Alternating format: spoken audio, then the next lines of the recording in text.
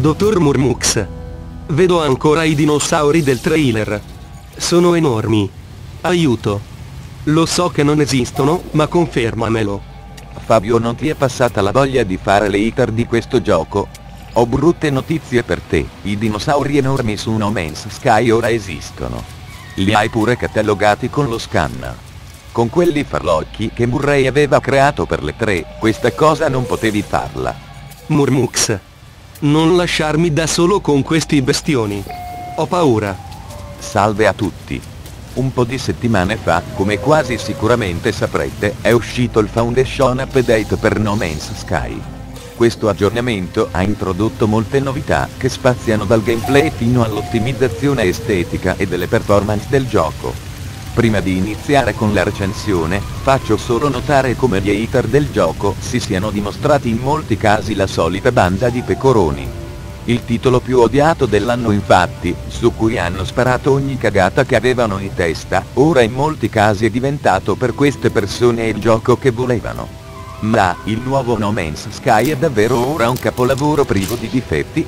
Secondo me, sebbene molte migliorie siano state introdotte, c'è ancora molta strada da fare per inserire nel titolo quello che vogliono i giocatori.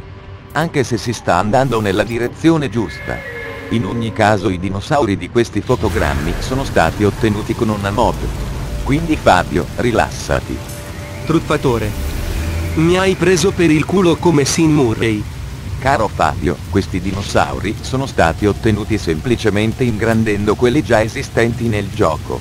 Siete voi fissati che non li avete trovati in formato mignon esplorando i pianeti.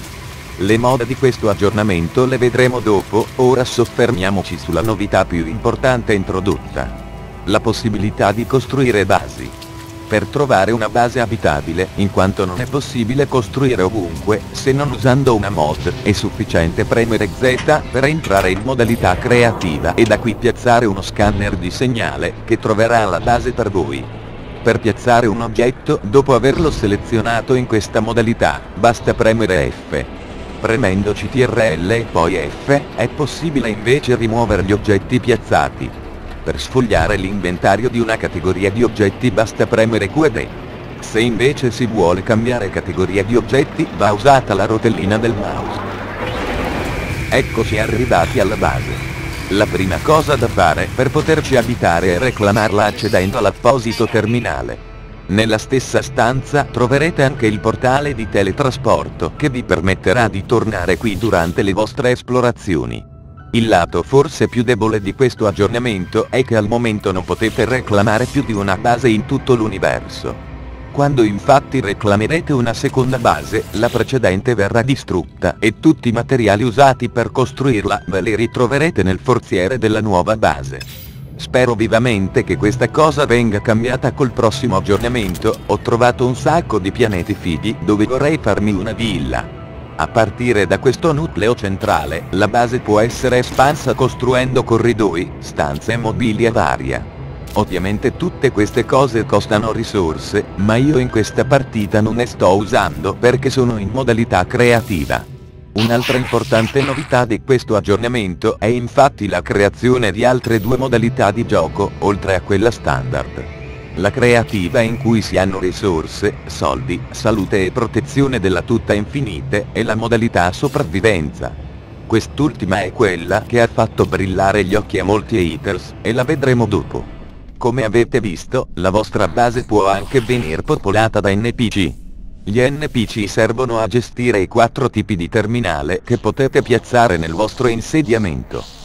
Esistono il terminale di costruzione, gestito da un costruttore Jack, il terminale scientifico, gestito da uno scienziato Curvax, il terminale delle armi, gestito da un armaiolo Viken, ed il terminale agricolo gestito da un contadino Jack. Questi NPC possono essere reclutati nelle stazioni spaziali, ed una volta uniti al vostro team, avranno bisogno di una loro stanza dedicata dentro la vostra base. Gli NPC vi forniranno queste aggiuntive che vi permetteranno di craftare i vari componenti della base, oltre che molti oggetti utili nelle vostre esplorazioni. Costruire le basi non è difficile. Una volta dentro il nucleo centrale è sufficiente entrare in modalità creativa premendo Z e piazzare o togliere gli oggetti come abbiamo fatto prima per lo scanner di segnale. Unica nota la merita la costruzione delle scale per andare da un piano all'altro. Queste possono essere piazzate solo dentro stanze cubiche come questa. Il tetto di queste stanze deve essere sotto un'altra stanza cubica, il cui pavimento va costruito come mostrato mettendo dei pavimenti per stanza cubica da usare come soffitto. Le scale vanno piazzate sotto questi pavimenti, adiacenti a cubi che non abbiano oggetti sui muri, come porte o finestre. Ruotare la scala col tasto R è indispensabile spesso per piazzarla correttamente. Dentro le basi è anche possibile coltivare alcune piante che forniscono risorse rare. Queste nuove risorse aggiunte al gioco, oltre a valere molto, sono indispensabili in questa versione per craftare molti oggetti, tra cui un raggio minerario in grado di estrarre elementi rari come il titanio. Alcune risorse poi sono state modificate. Ad esempio ora l'Emeril si trova in giacimenti sotterranei, i cadaveri degli animali lasciano cadere la mordite, mentre le sentinelle abbattute non lasciano titanio, ma una loro risorsa chiamata pugneo. Le basi mi sono sembrate un'ottima aggiunta al gioco. Sicuramente questo aspetto del titolo, sviluppato in soli tre mesi, non è quello che valuterei per un potenziale acquisto, visto che rispetto ad altri sandbox No Man's Sky è sicuramente più povero ma l'idea di farsi una villa nel pianeta dei propri sogni era una cosa che volevo fare fin dall'acquisto del gioco. La vera pecca ancora però presente ed invalidante questa caratteristica è l'impossibilità di avere più di una base. Inoltre avrei voluto poter coltivare e allevare le specie trovate nelle mie esplorazioni e non poche semplici piante non generate proceduralmente. Spero che questi aspetti vengano risolti nei prossimi aggiornamenti. Un'altra cosa che mi piacerebbe vedere è l'utilizzo da parte del motore di gioco degli edifici creati dagli utenti al posto di quelli standard che adesso si trovano in giro per i pianeti. Una mod non compatibile con questo update sbloccava gli edifici generati proceduralmente inseriti nel gioco, ma mai attivati da Hello Games. Sarebbe bello far spawnare al posto di questi gli edifici creati dagli utenti in altre partite. Altre tecnologie, oltre allo scanner di segnale che abbiamo già visto all'inizio, sono costruibili fuori dalle basi. Fra queste ricordiamo i punti di salvataggio, utili soprattutto nella modalità sopravvivenza che vedremo dopo, ed i radiofari. I radiofari permettono di marcare con un segnalatore un punto di interesse su un pianeta. La pecca di questo sistema? I radiofari non sono visibili fuori dal sistema stellare in cui sono piazzati questo purtroppo li rende quasi inutili. Anche perché la mappa galattica del gioco è un vero disastro. Anche se per migliorarla basterebbe renderci visibili i radiofari e magari rendere più evidenti i pianeti visitati da un giocatore unendoli con delle linee. Altro oggetto interessante è la stazione di comunicazione, che permette di mandare messaggi scritti agli altri giocatori. Dentro la base è poi possibile costruire shop, basi di atterraggio per le navette e anche casse dove immagazzinare oggetti. L'unità mineraria autonoma, se piazzata su un giacimento, vi permetterà di estrarre risorse automaticamente, anche in vostra assenza. Piazzatela sempre in un luogo raggiungibile, e, quando diventa verde e smette di lavorare, prelevate le risorse col tasto E. Per qualche motivo, l'unità AME non preleva risorse in modalità creativa e da questo errore. Un'altra cosa che ho apprezzato di questo aggiornamento è l'ottimizzazione delle prestazioni. Se prima il gioco con Fraps laggava ed aveva un lentissimo caricamento di texture ed oggetti nei pianeti, ora questo accade molto meno, come potete vedere anche utilizzando la mod che permette di volare bassi con la navicella. Hello Games credo non abbia ancora abilitato il volo basso solo per evitare proteste da caricamenti lenti nel gioco, ma come vedete funge tutto che è una meraviglia. Un'altra novità di questa versione è la possibilità di approdare sulle navi mercantili per acquistarle. Per procedere con l'acquisto è sufficiente raggiungere il ponte di comando e parlare col comandante. Questo, se avete abbastanza soldi, vi venderà la nave. La principale funzione dei mercantili è quella di deposito a larga capienza di oggetti, da vendere poi nel commercio galattico. Infatti ogni slot di un mercantile può contenere fino a 1000 oggetti, cioè il doppio di uno slot della vostra navetta e quattro volte quello della vostra tuta. La pecca di queste navi è ovviamente il prezzo. La meno capiente infatti costa fra i 7 e gli 8 milioni. I mercantili possono avere fino a 48 slot e costare decine se non centinaia di milioni. Queste navi potrete richiamarle su ogni pianeta che esplorerete per usarle come magazzino, ma non potrete né pilotarle, né usarle in combattimento. Il combattimento spaziale in questo gioco è infatti ancora abbozzato, ma d'altronde non è mai stato a mio parere il suo reale obiettivo. I dev comunque si stanno muovendo per migliorare anche questo aspetto. Andando dietro al ponte di comando, i mercantili poi possono essere personalizzati negli interni usando gli stessi componenti usati per le basi. Un modo furbo di aumentarne la capienza e poi piazzarci anche delle casse in queste stanze. Anche avere dei terminali per il commercio galattico e dei campi nel mercantile renderà queste navi delle miniere d'oro per il giocatore completamente autosufficienti. Per richiamare il mercantile su un pianeta basta premere X e selezionarlo. Per spedirci gli oggetti dentro, andate nel vostro inventario, spostateli col tasto X, andate nell'inventario del mercantile, ripremete X, e riselezionate l'oggetto.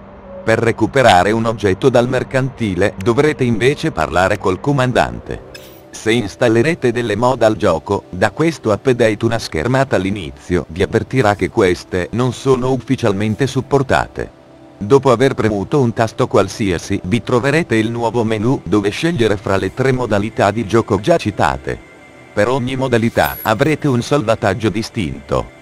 L'ideale ovviamente sarebbe avere la possibilità di creare quanti salvataggi si voglia. Speriamo nei prossimi aggiornamenti. Appena inizierete una partita, il gioco inizierà a caricare, ma adesso quando caricherà le shaders, che sono la cosa che a volte fa laggare la schermata, il gioco vi avvertirà.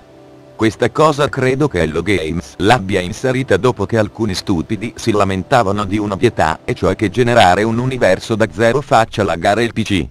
Comunque tranquilli. Io il lag pesante l'ho avuto solo al primo avvio del gioco e dell'update. Di norma il gioco mi si avvia in qualche decina di secondi. Ora finalmente parliamo della modalità sopravvivenza. Sì lo so, ho messo modalità creativa quando ho selezionato dal menu, ma è solo perché non ho ripreso stupidamente l'avvio in sopravvivenza. Comunque, almeno nel mio hardware, il tempo di caricamento è simile a quello che avete visto. Questa modalità è davvero difficile come la descrive mezzo mondo. Secondo me no. È tosta solo per le teste di cavolo che non hanno mai giocato ad un survival serio, al massimo hanno provato Minecraft. Sicuramente non è una modalità impossibile, neanche non utilizzando le mod. Richiede solo un po' più di attenzione nel muoversi e nel cercare risorse e ripari anche perché il titanio come già detto non si estrae più con il raggio minerario iniziale o ammazzando le sentinelle, e per caricare il supporto della tuta non si può più usare il comune carbonio, ma solo i serbatoi energetici che si trovano nelle casse ed il tamium 9 dei fiori rossi. Anche il plutonio per ricaricare i propulsori di lancio della navicella, una volta che l'avrete raggiunta, sarà un po' una magagna a volte. Anche perché per decollare userete tutto il serbatoio. Altra novità dello spazio è che ora sia gli scudi sia il propulsore si ricaricano col ferro, e non col Tamium 9. Il ferro sarà anche l'elemento più comune negli asteroidi, che ora sono in banchi e contengono elementi e forme più vari. Inoltre, se morirete nello spazio, in survival perderete tutto l'inventario della nave. In definitiva apprezzo anche questa modalità, che dà un sapore diverso all'esplorazione planetaria. Infatti caricare le scoperte sull'Atlante è un'importante fonte di reddito in survival. No Man's Sky, grazie alla sua generazione procedurale, dà quindi un tocco unico a questo stile di gioco. Per finire quindi, No Man's Sky è davvero un altro gioco dopo l'update? Secondo me, assolutamente no. Sebbene le nuove modalità riprendano quelle di Minecraft, il survival di No Man's Sky non è il survival complesso che potrete trovare su un 7 Days to Die. E la sua modalità creativa non è paragonabile per complessità a quella di un Minecraft. Se poi lo paragoniamo ad un Planet Explorer, questo gioco sotto questo aspetto esce nettamente perdente. Le nuove modalità infatti, più che come modalità nuove, possono essere viste come un arricchimento del gameplay fatto di esplorazione ispirato da giochi come Noctis Suspense Engine.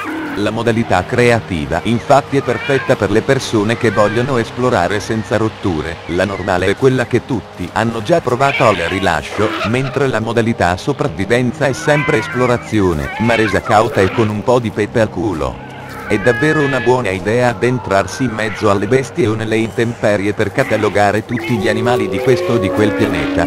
Questa è la domanda che il giocatore dovrebbe porsi in modalità sopravvivenza. L'introduzione delle basi poi rende l'esplorazione ancora più interessante, permettendo al giocatore di colonizzare gli angoli più belli di questo universo simulato. Peccato solo che al momento non si possa costruire più di una base e che i radiofari non permettano di evidenziare le scoperte nella mappa galattica. Queste due cose sono le prime che io correggerei. Alla fin fine, No Man's Sky è un gioco di esplorazione che la massa non ha capito e che credo il pubblico di oggi, per lo più abituato solo a sparatorie, sfide PvP fasulle e bimbomichiate competitive, non capirà mai nella tranquillità che riesce a trasmettere tramite i suoi paesaggi che sembrano estratti da sogni.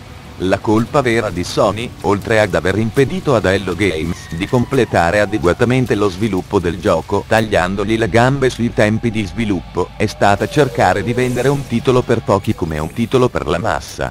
Infatti No Man's Sky non è mai stato un brutto gioco. Semplicemente aveva un target molto più ristretto di quello che si voleva servire.